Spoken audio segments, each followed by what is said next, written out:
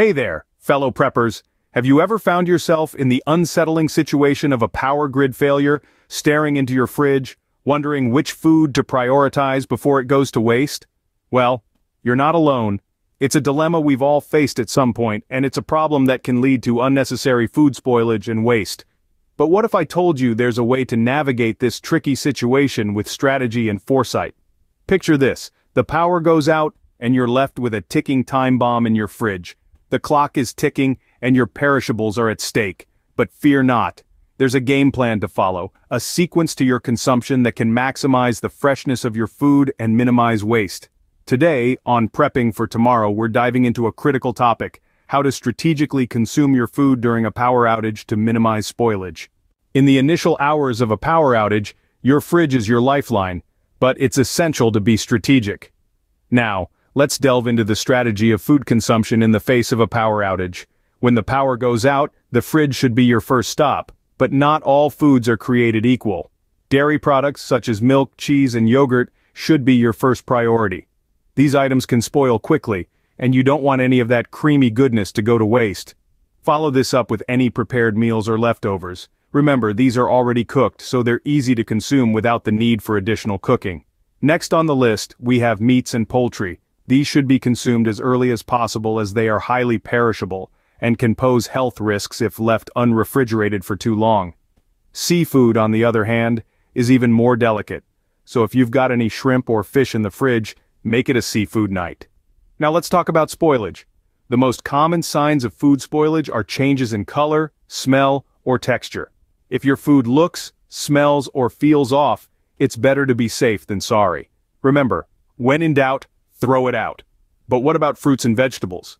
Well, these items are generally more forgiving and can last a bit longer without refrigeration. Therefore, they should be consumed last. However, certain fruits like berries can spoil quickly, so keep an eye on them. Lastly, don't forget about the condiments. While most of these have a longer shelf life, they can still spoil. So, use them to add flavor to your meals and make the most of your perishables. And there you have it. The initial hours of a power outage can be stressful, but with a clear strategy, you can make the most of your fridge and minimize waste. Your first priority is the food in the fridge. We'll discuss which items to grab first, the signs of spoilage, and how to make the most of the perishables while they're still salvageable. So stay tuned, and let's conquer this challenge together. As the clock continues to tick, it's time to move on to the freezer. This frosty fortress is your next line of defense in a power outage. But just as with your fridge, strategy is key. You see, not all frozen foods are created equal. They have a hierarchy, a pecking order if you will, based on their ability to last without power. At the top of the pyramid, we have frozen fruits and vegetables. They should be your first port of call. These are not only nutritious, but also versatile. You can use them in a variety of dishes from smoothies to stir-fries. Next in line are your frozen meats and poultry. These items can stay safe for up to two days in a powerless freezer, provided the door is kept shut. But once you take them out, they need to be cooked immediately. And remember, once thawed, they must not be refrozen. Then we have your frozen meals and leftovers. These are great for quick, easy meals, and should be consumed after your meats and poultry. Last, but certainly not least, are your frozen dairy products like ice cream. Enjoy them as a treat, but don't bank on them for sustenance. They're the first to thaw and spoil, so consume them quickly to avoid waste. Now you might be wondering how do you use these frozen foods efficiently? The key here is to think about your meals in advance. Plan your meals around the items that need to be consumed first. And don't forget to use your grill or camping stove if you have one. They can be a lifesaver when the power's out. Remember, the goal is to minimize waste and maximize the use of your frozen food. The last thing you want is for your food to spoil and go to waste. So, there you have it, your guide to navigating the frozen tundra of your freezer during a power outage. We'll explore the hierarchy of frozen foods, what to cook first, and how to use them efficiently to sustain you through the power outage. Once the perishables are addressed, it's time to pivot to fresh produce and items on the counter.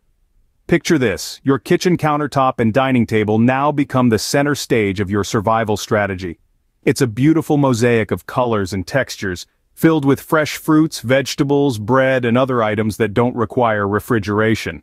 What's the game plan? It's all about consumption sequencing. The idea is simple. Consume fresh produce and items on the counter in the order of their perishability.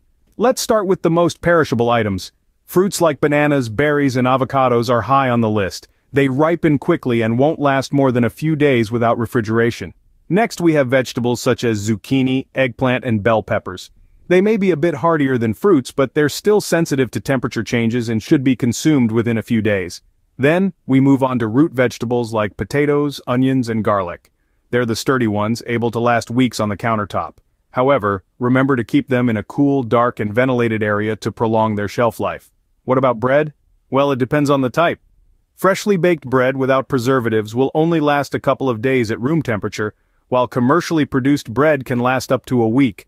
Now let's not forget about the cheese. Hard cheeses like cheddar or Gouda can be safely stored at room temperature for a few days. But remember, once cut, they need to be consumed quicker, as the exposed areas can dry out or develop mold. And finally we have items like nuts, dried fruits, and canned goods. They're the long-distance runners of the food world, able to stay good for months or even years, but remember once opened, they need to be consumed within a few days. By mastering the art of consumption sequencing, you're ensuring that nothing goes to waste, even during a power outage. We'll delve into the art of consumption sequencing ensuring nothing goes to waste, when the immediate food sources are exhausted, it's time to tap into your prepper pantry. Imagine a treasure trove of sustenance filled with canned goods, dry rations, and long-term food storages. That's your prepper pantry. This is the time to put it to good use. It's not just about having these resources, but also knowing how to use them effectively. Start with canned goods. These are typically ready to eat and require minimal preparation. Soups, beans, vegetables, fruits, and meats are all fantastic options. Remember, once opened, these items need to be consumed quickly to avoid spoilage. Next, move on to your dry goods. These include items like rice, pasta, and grains. These foods are energy-dense and can be cooked using a simple camping stove or even a makeshift outdoor fire. They're great for creating filling and nutritious meals. Now let's talk about long-term food storages. These include freeze-dried meals, dehydrated foods, and meal replacement bars. These items are specifically designed to last for years and provide you with the necessary nutrients in survival situations. They're easy to prepare, usually requiring just hot water and a few minutes of your time. It's also crucial to keep in mind the importance of rationing.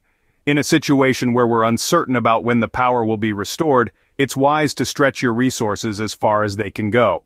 This means portioning meals appropriately and not wasting any food.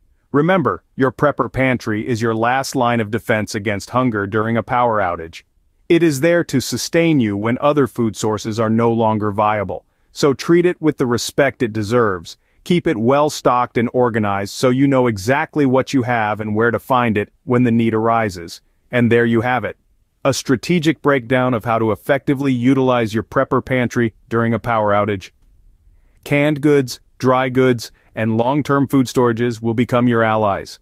We'll discuss the best practices for utilizing these resources effectively.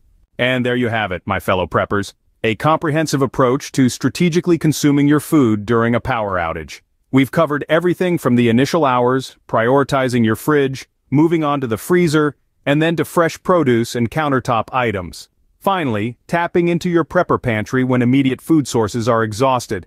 Remember, the goal is to maximize freshness and minimize waste. But as we all know, every situation is unique.